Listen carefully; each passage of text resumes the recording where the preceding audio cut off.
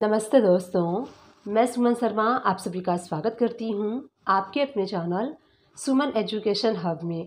आज के इस वीडियो में हम देखने वाले हैं कि टेली प्राइम में फीचर्स F11 के ऑप्शन को आपको कैसे यूज़ करना है।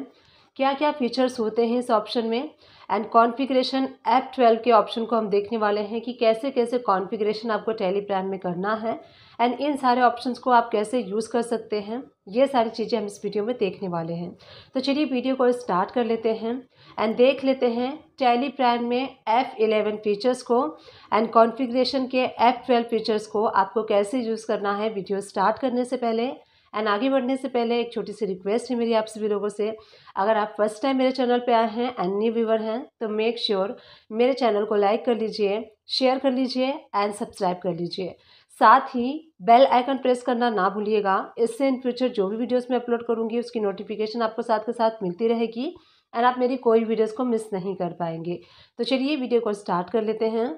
टैली को ओपन कर लीजिए। अब हम यहाँ से देखने वाले हैं टैली प्राइम में फ़ीचर्स के ऑप्शन में क्या क्या है एंड कॉन्फ़िगरेशन में क्या क्या है। तो सबसे पहले टैली प्राइम पे रहते हुए आपको फ़ीचर्स ऑप्शन कैसे मिलेगा वो देख लेते हैं। तो टेलीग्राम को ओपन करने के बाद आपको यहाँ पे सबसे ऊपर कंपनी का ऑप्शन शो हो रहा है।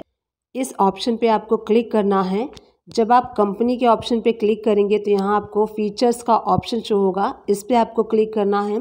शॉर्टकट कीज़ भी आप प्रेस कर सकते हैं। यहीं से एफ़ इलेवन प्रेस करेंगे तो भी आप फीचर्स के ऑप्शन पे आ सकते हैं। अब यहाँ पे जो कंपनी का फीचर्स है वो ओपन हो चुका है। शो मोर फीचर्स पे एंड शो मोर ऑप्शंस पे आपको दोनों ऑप्शन पे यस करना है। सारे फीचर्स एंड सारे ऑप्शंस आपको यहाँ पे शो होंगे। यहाँ आप देख सकते हैं आपको कैटेगरी शो हो रही है अकाउंटिंग की। इन्वेंट्री की, टैक्सेशन की, ऑनलाइन एक्सेस की, पेरोल की एंड अदर्स की।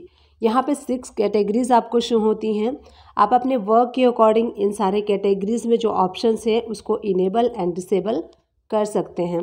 तो वन टू वन हम सारे कैटेगरी को डिस्कस कर लेते हैं सो so दैट आप समझ सके कि कैसे आपको इन सारे कैटेगरीज को यूज़ करना है।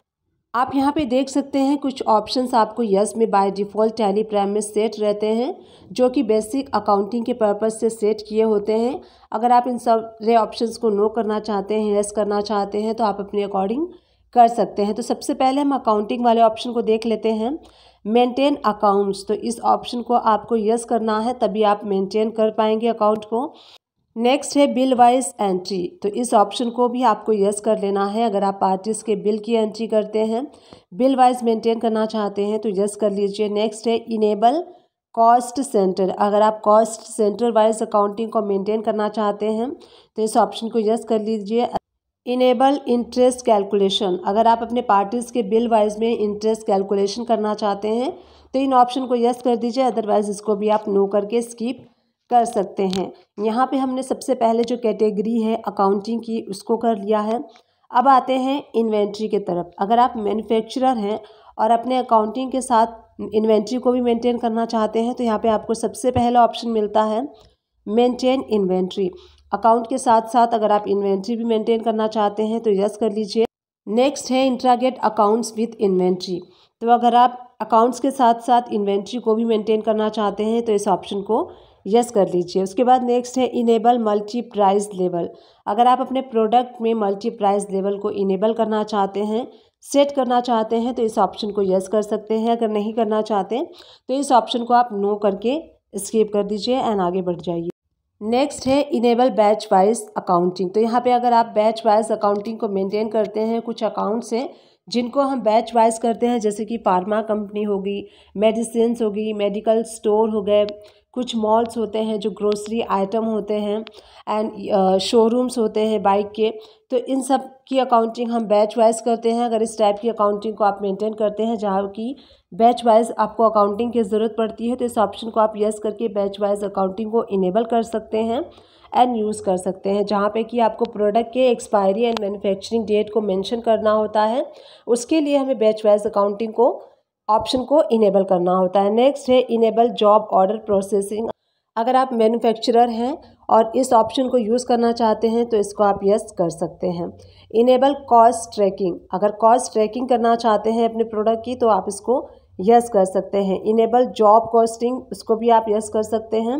एंड बैच वाइज अकाउंटिंग को यहाँ पे आप मेंटेन कर सकते हैं। अब उसके बाद देखेंगे आप तो यहाँ पे आपको शो होगा use discount column in invoices. अगर आप सेपरेटली डिस्काउंट का कॉलम अपने इन्वाइसिस पे यूज़ करना चाहते हैं तो इस ऑप्शन को आप यस करके अपने इन्वाइसिस पे सेपरेटली डिस्काउंट का कॉलम इनेबल कर सकते हैं। Use separate actual and bill quantity column in invoices अगर आप अपने इन्वाइसेस में सेपरेट एंड एक्चुअल क्वांटिटी को अलग से यहाँ पे मेंशन करना चाहते हैं, इस ऑप्शन को यस कर सकते हैं। आप टैक्सेशन वाले ऑप्शन को देख सकते हैं इनेबल टैक्स वाले। तो यहाँ पे यस करके सारे जीएसटी से रिलेटेड आपकी सारी इन्फॉर्मेशन आपको फिल करनी होती है। जैसे आपका जीएसटी नंबर क्या है, उसके बाद यहाँ पे अगर आप रिटर्न फ़ाइल कर रहे हैं मंथली कर रहे हैं तो मंथली कर लीजिए। आपका रजिस्ट्रेशन टाइप क्या है, ये सारी इन्फॉर्मेशन आप यहाँ पे फिल करके इस स्क्रीन को सेव कर लीजिए। तो यहाँ पे आपको जीएसटी से रिलेटेड टैक्सेशन से रिलेटेड सारे ऑप्शन इनेबल हो जाएँगे।